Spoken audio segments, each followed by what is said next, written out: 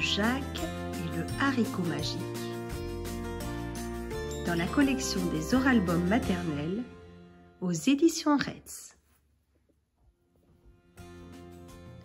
Il était une fois un jeune garçon qui s'appelait Jacques. Il vivait avec sa mère dans une ferme où il n'y avait plus qu'une seule vache. Comme cette vache, elle n'avait plus de lait depuis quelques mois, la mère de Jacques, elle lui demande d'aller la vendre à la foire.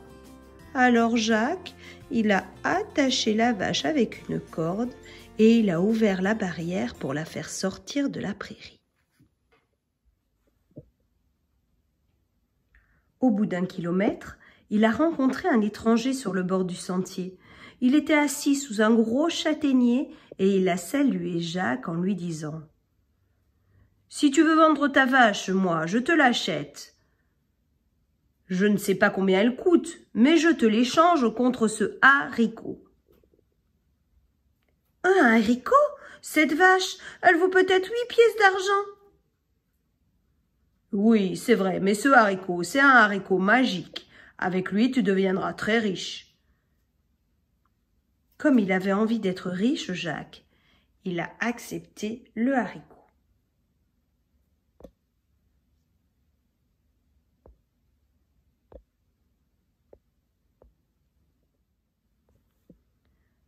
Quand il est revenu à la ferme Jacques, il a tout raconté à sa mère, qui est devenue très pâle.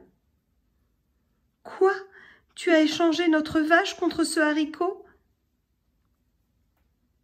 Si elle pleurait comme une fontaine, la mère de Jacques, c'est parce qu'il n'avait plus rien du tout maintenant.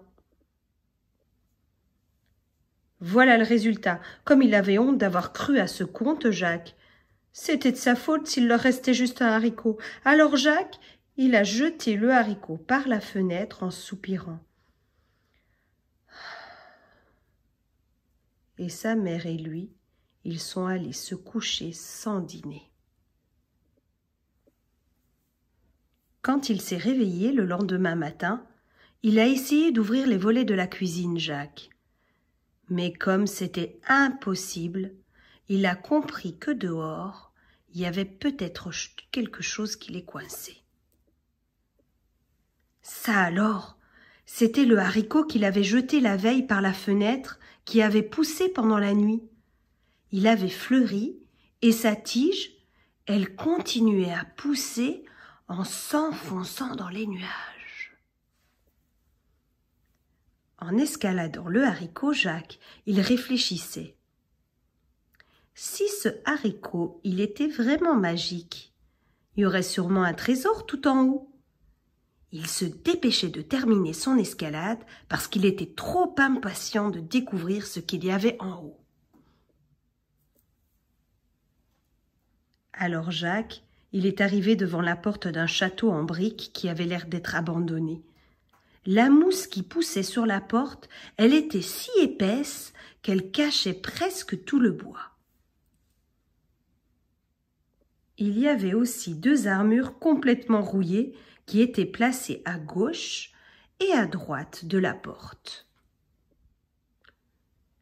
Mais quand il a visité l'intérieur du château Jacques, il a découvert des objets merveilleux.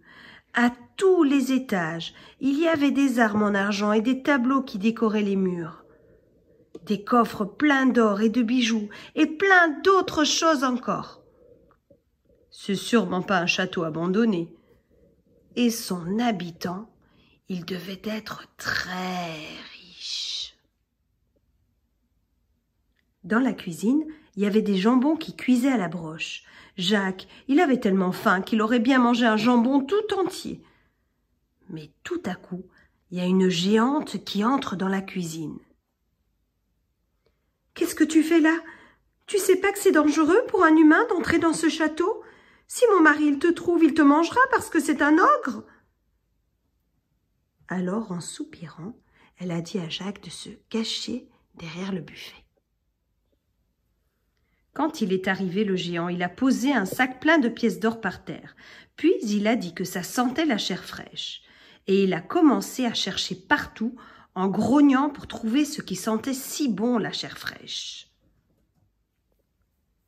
La géante, elle s'est dépêchée de lui servir les jambons. en lui disant que c'était ça la bonne odeur. Le géant, il a avalé deux jambons et trois kilos de pommes de terre et d'oignons et deux litres de vin. Il avait tellement mangé qu'il s'est endormi à table en ronflant.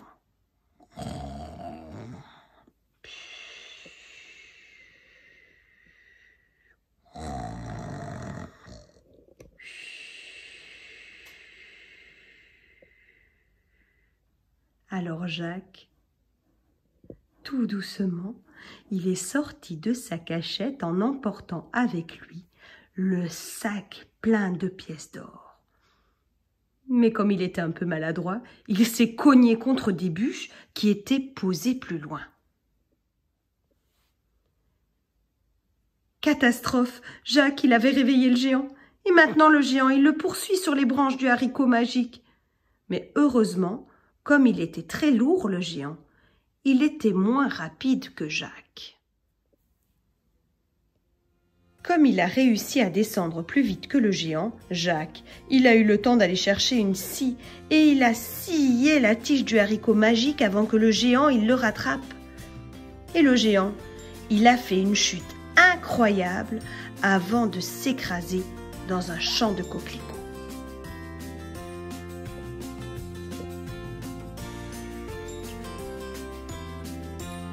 Voilà le géant. Il était mort et Jacques, il était devenu riche. Alors sa mère et lui, ils ont invité tous leurs amis pour faire une grande fête. Sa mère, elle a acheté une robe magnifique pour se faire belle. Et pour le repas, ils ont servi des jambons rôtis avec des haricots à leurs invités.